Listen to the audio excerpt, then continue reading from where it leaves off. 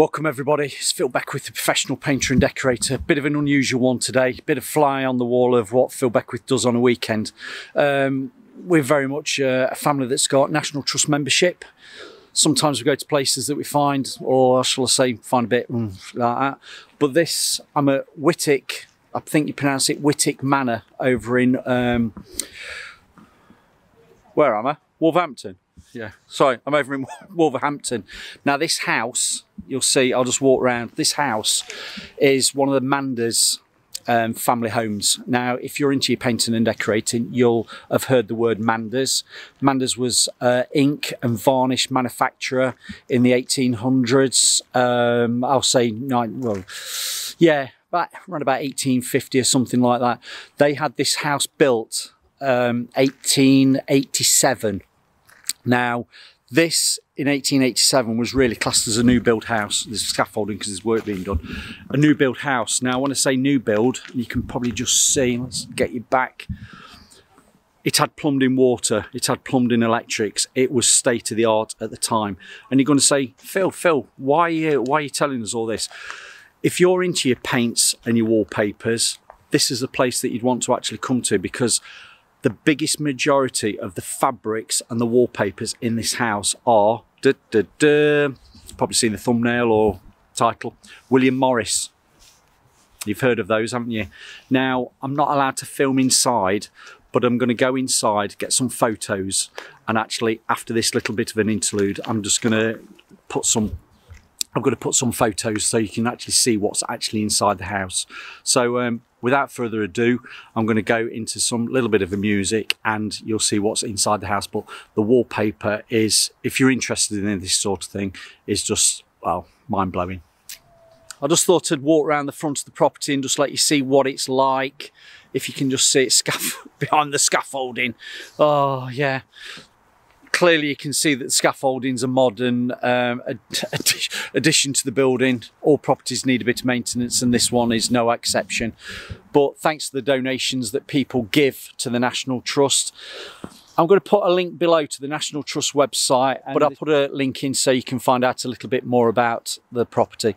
But as you can see, the style of the house looks really old, but in the bigger scheme of things, this isn't an old house.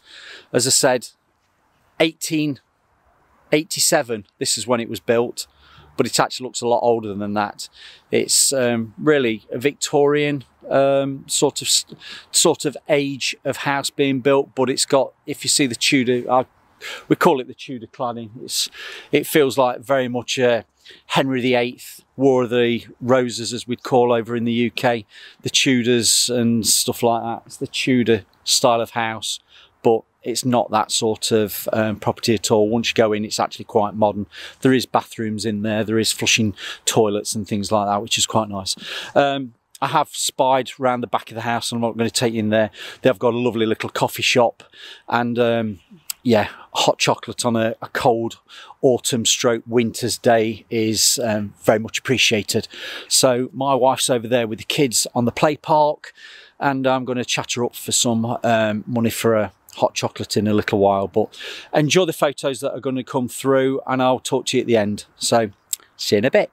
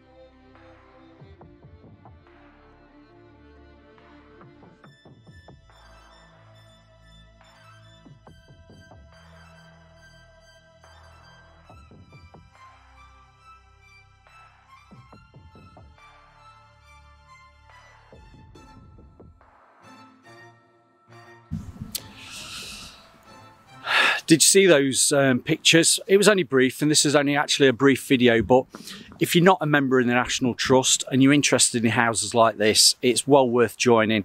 Uh, top of my head, I think family membership's about £120.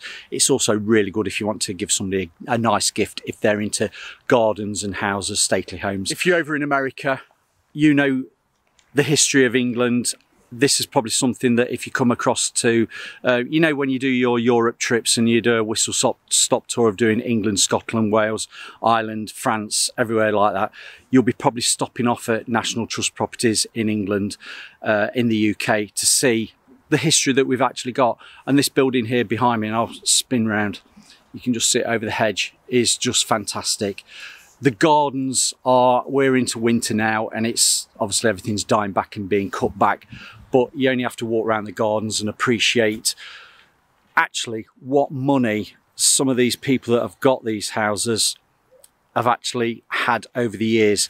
Now this house i said it was a manders um, property and the family manders the second the son of manders that had it built he was on his second wife. Now, it, this property was handed over to the National Trust in um, 1937, and one of the reasons that they believe it was handed over to the National Trust was because he'd got, obviously, he was on his second wife, He'd got a number of children, and he didn't want the house being broke up and split when he died to be lost. So he handed it over to the National Trust in, in 1937 and then it wasn't up until his wife, which is his second wife, died in, I believe it was 1988, that the actual National Trust could then properly get the hands on it and have it as one of their National Trust properties. Because up until then, it was on an agreement that the Manders family could still live in here while well, clearly while they were still alive. But once they died, then it was properly handed over to the National Trust. But this is a lovely property to go and visit. You've seen the photos. More, it was for more for me to show you some of the wallpapers that are, well, we're going to say over 100 years old. If you're into your wallpaper, as I said at the beginning, if you're into your wallpaper, you will probably recognize some of these wallpapers that are still around today. And William Morris wallpapers and fabrics are still producing these sorts of patterns. And I believe there's a, a, place in Loughborough that is producing block print wallpapers for when they need to do I'll say repairs on wallpaper and things like that because they've had water damage and things in these sorts of properties. They are still producing these wallpapers but they're not cheap. They're not cheap. I'm sure I got it wrong. It, it is actually pronounced Whittick Manor and um, if you're not used to National Trust properties, this is like the gatehouse entrance where you go and pay your fee to get into the house. And as I said a little bit earlier on, if you're a National Trust member, these are all free. You pay your, your fee for the year and then you'll um, go around the house, no extra cost. Whereas if you're an individual or a, family coming in, it could be, depending on the house that you go to or stately home, it could be 20, 30 pounds a visit. So it actually comes very um, cost effective to become a member. If you want something to do on a weekend and go out and you're interested in stately homes and gardens. And over the summer, gardens can be beautiful. So this is Wightwick Manor and we're over in Wolverhampton especially the centre of England-ish, sort of, near Birmingham. If anybody wants to know, it's near Birmingham. You know where that is.